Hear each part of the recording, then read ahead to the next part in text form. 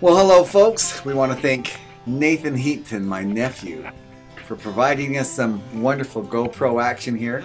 This is his dad, Lyle, my brother, and uh, this is Nathan's first time up to Kodiak, and uh, he's learning very well how to catch these fish. You notice that uh, he actually loses these first two. Um, I think one of the challenges he was, was having at the beginning was not keeping his pull up. When you get a fish on, you want to keep that up about 45 degrees. But you'll quickly learn here in a minute that uh, the rest of the trip he figured that out pretty well as he's uh, he's keeping his pull up a lot higher.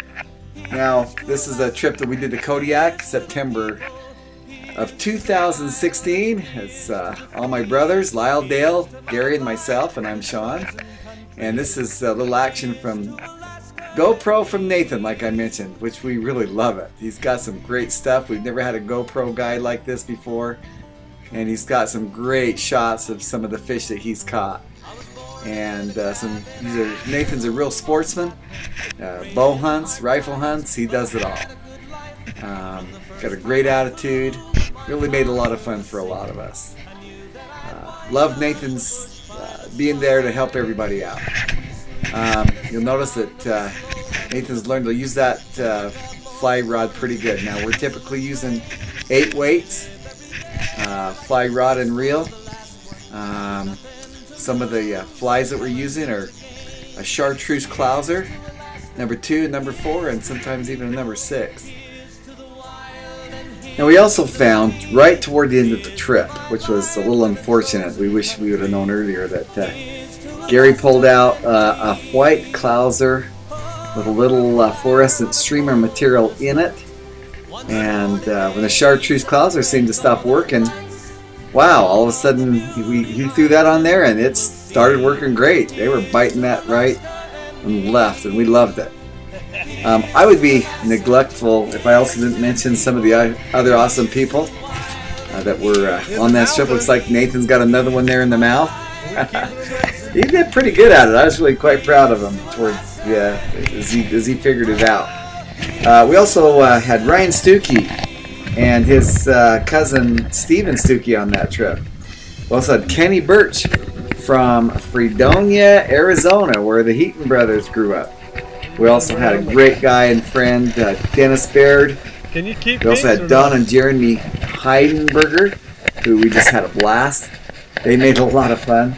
Uh, also, a dear friend of mine that I, I made back on my LDS mission.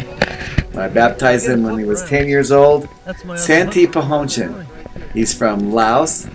Oh, good for you, Nathan. Look at that. Another one in the mouth, buddy. Man, he's that's probably caught more than I did. That's great. And his, my brother Lyle always right there. Father son. That, you know, one of the things I just love about taking folks up to Kodiak, Alaska is the father and son teams. It's just uh, just fun. It's uh, the, quite a memory they're creating. It will, it'll last a lifetime. Now I know that they could have probably stayed home and you know worked and you know maybe went to some other place on a little river or something. But you know what? There's nothing like coming to Kodiak, Alaska. What a memory. This will last them a lifetime. And I, I, you might be, you might get tired of me hearing me say that over and over. It's like Nathan's got uh, some more action going on here. Good for you, buddy. Now I should mention that you don't have to be a fly fisherman to have a lot of fun here on Kodiak. Um, I'd say we had about oh 30 40% of the guys that we had up there were using uh, spin cast reels That's a hump with some little Kodiak spinner specials. You know, we have a couple of, of spinner flies. Oh, look at that. That is one of the oddest, weirdest looking uh, fish that, that flies. I'm sorry, that swims up these rivers, called the pinks or, or humpbacks or humpies is one of the nicknames they're called. And uh, now we don't keep those I think I did. Uh, unless they're really fresh, fresh, fresh from the ocean. And then we'll, uh, you know, we'll might smoke those. But uh, that was just an unusual one that my brother Gary caught. He's an also uh, also an awesome fly fisherman. Been doing a lot longer than I have. and always catches a lot of fish. And uh, always look to him for some advice and some excellent pointers. Um, yeah, back to the spinners. Um, no, there you can spin cast, but again, you want to take an eight weight uh, rod and reel that'll handle the pressures. Yeah, Um, boy. I always like to take a backup fly rod because it seems like every year I always break, and I did the same thing. I break two or three different uh, uh, fly rods. Um, I want to mention the silvers run, runs on when they run on Kodiak. Typically, they start around the end of August. And oh, there you go, Nathan. That's your right way. Way to go, buddy. Boy, they were just hot on this river. Taking them in the mouth, just working beautifully. It was just awesome. Um, they will uh, the sil the silvers will run end of August through uh, first first week or two of October. And uh, it's interesting. Every year we uh, experience something different. One year we went up there. There was a drought, so we caught most all our fish in, in the in the salt, what we call the salt, which is right out in the ocean, right at the bays.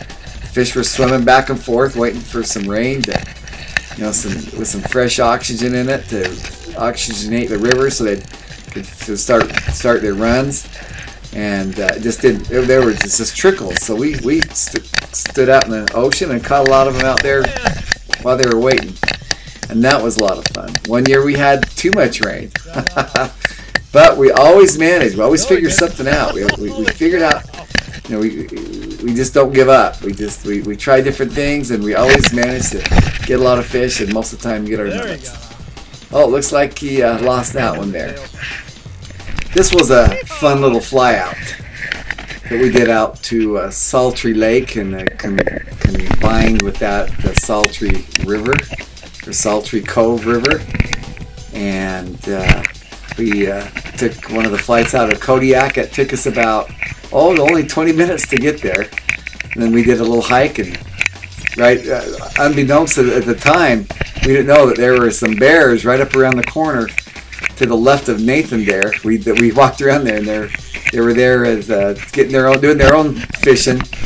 Uh, but they were using fly rods, oddly enough. They figured out how to do it with their mouth. That'd be a little tough for us. But uh, no, it was great. We uh, we actually go with our waders right on. We jump out of the plane. We walk down the little this little hole we found. There's there's there's lots of little holes like this, um, on Saltery. and uh, this we had some older people there. This is a little more convenient for people to walk to. Now there's no uh, asphalt road to get to this system. The only other way you get really get there is to uh, do it. They, they, they offer four wheeler trips, which we did not do, and I've never done that to this particular system. But while we were there, there were a few four wheeler guys. It takes about an hour and a half, two hours to get there.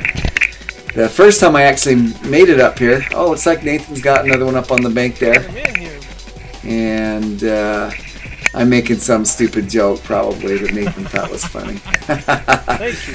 But the first time I came up there was by boat. We actually came around from Pasagshak, Yeah, came around really the peninsula there, parked our uh, uh, boat out in the water and walked up, and that was a lot of fun. Now this was this was some way creative shooting that, that Nathan got with his uh, GoPro, which put the underwater protector on there, and and uh, I caught one there in the mouth, and and uh, Nathan was able to get a little bit of action on that. So you'll see that there were just uh, dozens of silvers, as long as with pinks and probably a few reds thrown in there too. Uh, the reds come up earlier around the end of June, July, into the August, and we also saw a lot of reds, but we didn't keep any of them. They're a little bit turned as they were getting ready to spawn. But uh, there you go. I think I caught this one that uh, chartreuse clouser. Uh, tries to get away from me there, but then I, uh, but I, I was able to uh, come out on top on this one. Probably best now that I just be quiet and let you finish out the last few minutes of this video with some great uh, video action from Nathan. But uh, I've got a lot more of these Alaska videos of different trips. We try to do a video every year to create a memory for the families that are involved. and uh, to make it a lot of fun. But uh, if you'd like to watch some other videos, you can subscribe to my channel if you'd like. If you'd like to uh, possibly go on this trip with us, love to chat with you. Just uh, reach out to me either on Facebook or or directly, and uh, love to create a memory for you. Take care.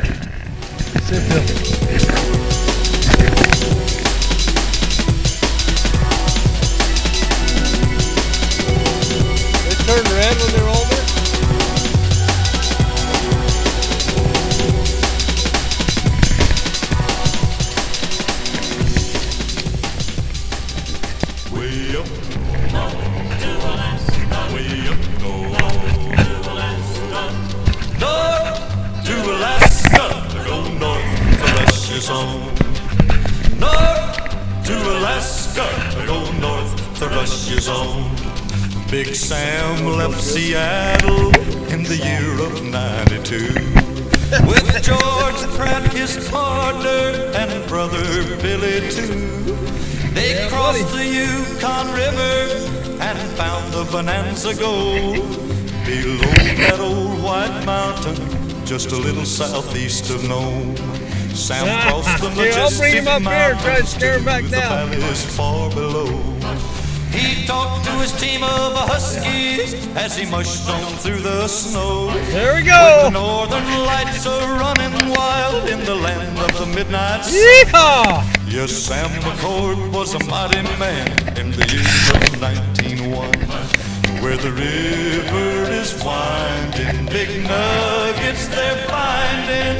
North to Alaska, go north is Russia's